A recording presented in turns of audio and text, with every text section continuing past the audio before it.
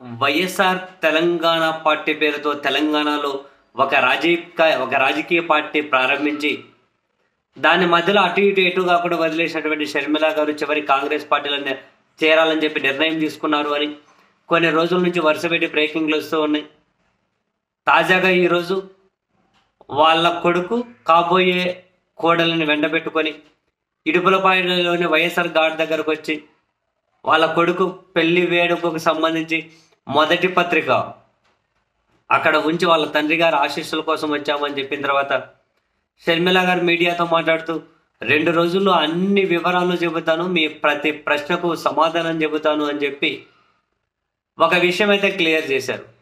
కాంగ్రెస్ పార్టీతో కలిసి పనిచేయాలని చెప్పి ఇంతకు ముందే నిర్ణయం తీసుకున్నాం. కాంగ్రెస్ పార్టీ నన్ను ఆహ్వానించారు.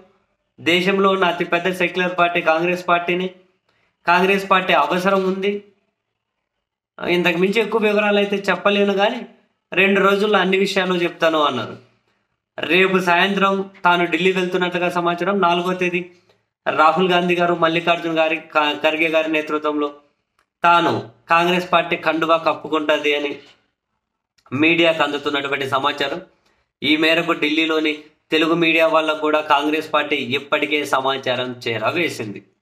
సో కాంగ్రెస్ పార్టీలో షర్మిల గారు చేరడం దాదాపు ఫిక్స్ ఇంకా ninety nine point nine nine ఇంకా జీరో పాయింట్ వన్ పర్సెంట్ ఏమైనా ఉంటే ఇంకా ఇంకేమైనా అనూహ్యంలో అనూహ్యమైన మార్పులు ఏమైనా జరిగితే ఆ ఎంట్రీ ఆగిపోతుందేమో తెలియదు.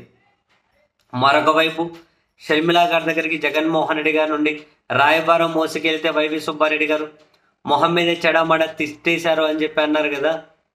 ఒక పత్రిక రాసుకుంటూ వచ్చింది. దాని మీద వైవి సుబ్బారెడ్డి గారు కూడా తీవ్రంగానే స్పందించారు. అవన్నీ ఏం రాతలు? విజయమ్మ గారు నెల రోజుల తర్వాత హైదరాబాద్కి వచ్చారు అమెరికా నుండి. ప్రతి రెండు మూడు రోజుల కోసం రెండు మూడు వారాల కోసం నేను హైదరాబాద్కి వచ్చినప్పుడల్లా కలుస్తూ ఉంటాం బంధువులు. నెల రోజుల తర్వాత వచ్చారు కాబట్టి విజయమ్మ గారిని కలిసి కలవడం కోసం అని చెప్పి నేను వెళ్ళాను. మరి అన్ని రాజకీయ కోణాల్లో చూస్తేనే అట్లా నేను బంధువుల ఇంటికైనా వెళ్ళాను.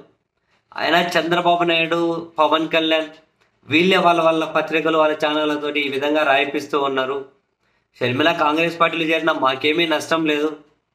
ఇంతకు ముందు కూడా కాంగ్రెస్ పార్టీలో చేరతారని చెప్పి తెలంగాణ ఎన్నికలప్పుడే ఆ, బయటకు వచ్చింది చర్చ ఈ న్యూస్. ఇప్పుడు ఆమె కాంగ్రెస్లో చేరినా మాకు వచ్చే నష్టం ఏంటి? ఈ పవన్ కళ్యాణ్ చంద్రబాబు మేమేదో భయపడుతున్నామని చెప్పి ఏదో ఒక ఫేక్ న్యూస్ వాళ్ళు స్ప్రెడ్ చేయించే ప్రయత్నం చేస్తూ ఉన్నారు. అని చెప్పి వైవి సుబ్బారెడ్డి గారు అయితే కమెంట్స్ చేశారు. వెరస మొత్తానికి రెండు రోజుల్లో షర్మిల గారి కాంగ్రెస్ పార్టీ ప్రవేశం. బాధ్యతలు ఏంటి? ఆమె ఎలాంటి ఐ మీన్ ఫైట్ ఆంధ్రప్రదేశ్ వేదికగా చేయబోతోంది?